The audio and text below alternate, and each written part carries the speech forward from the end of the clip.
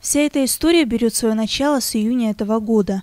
В связи с неуплатой заводу, несанкционированными врезками, с настоящим воровством живительной влаги, предприятие «Водоканал» оказалось на грани банкротства. Списки должников росли, вместе с ними и шансы на скорую гибель предприятия. Однако никакие переговоры с должниками к положительным результатам так и не приводили. Но дело не заставило долго ждать. Уже к началу текущего месяца представители одного из главных предприятий в городе перешли к жестким мерам, как полное отключение от воды. Под горячую руку попались новостройки, автомойки некоторые жилые дома, садоводческие общества города. Говоря о последних, стоит отметить, что эти и вовсе занимали лидирующие места в ряде ярых должников. Потому в скором времени они все по очереди были лишены снабжения холодной воды. Стоп, стоп, стоп. Более суток садоводческие общества пребывали в отсутствии воды. Продолжение тому будет до тех пор, пока несознательные застройщики и хозяева дачных участков не погасят долги, говорит директор водоканала Арсен Шапиев. Включили садоводческие общества за то, что у них большие задолженности. Более трех миллионов рублей у них задолженности по воде.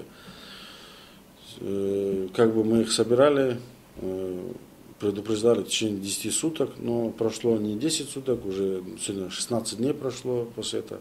За 16 дней ничего не изменилось, поэтому вынуждены были отключить. Однако, понимая их по-человечески, было решено обсудить это в присутствии самих жителей садоводческих обществ. Собрание прошло на базе Кора, где и встретились представители двух сторон. Возмущенные жители, не желая понимать проблем предприятия, требуют лишь вернуть в их дома подачу живительной влаги. Врать не буду. У меня с 2011 года полгода, может, от 7, 7 месяцев по семейным обстоятельствам. Вот эти люди, они знают. У меня были проблемы с мужем. У меня не оплачено. У меня что, за 7 месяцев 17 тысяч набежало? В свою очередь представители водоканала разъяснили свою сторону мнения, объяснив, что пользоваться благами предприятия, не чувствуя за собой никакой вины, продолжаться не может. Заводу нужно платить, в противном случае на ее подачу остается лишь уповать, говорит директор водоканала Арсен Шапиев. Единственное, у меня просьба такая. Вот вы здесь все жители есть. Кто-то законно платит воду, кто-то не платит. Сейчас ходить здесь пальцем тыкать каждому человеку, если надо, и это тоже мы можем сделать, найти каждому, заходить будем вместе. Вопрос другой.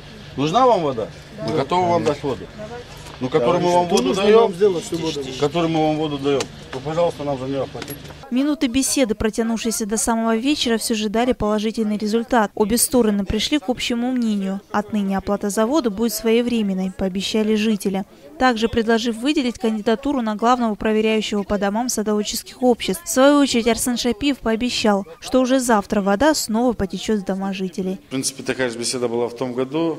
Э, к сожалению, ни к чему она не привела. Ну, надеюсь, хотя бы в этом году люди поймут, что уже как бы и мы не можем бесплатно воду так бездарно раздавать.